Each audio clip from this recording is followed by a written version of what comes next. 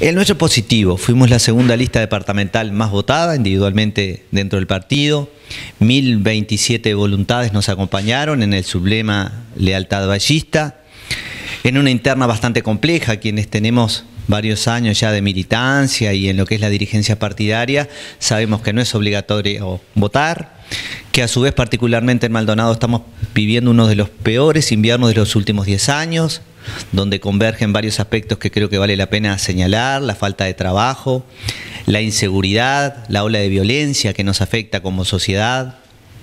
la cantidad de gente en situación de calle. Nunca habíamos tenido tanta gente entre 20 y 45 años en situación de calle, es decir, en una espiral en el que ingresan producto de la droga, y producto de otro tipo de adicciones que es muy complejo. Y esto no lo digo para estigmatizar, lo digo porque es un elemento social de Maldonado dentro del contexto de todo el país. Antes quienes estaban en situación de calle eran personas mayores y generalmente vinculadas en su mayoría, no siempre, a lo que era el alcoholismo, pero hoy la drogadicción impacta en, en nuestra sociedad y en personas jóvenes, que vuelvo a insistir, es un tema en el que hay que focalizar. Entonces, contentos por esta elección interna, agradeciendo a todos los amigos que nos acompañaron en la 100 y ya en la recta hacia octubre, con un partido que tiene una fórmula definida, tal y Silva, más allá de algunas connotaciones que desde el punto de vista jurídico se han planteado, y fundamentalmente también ya trabajando en el programa de gobierno,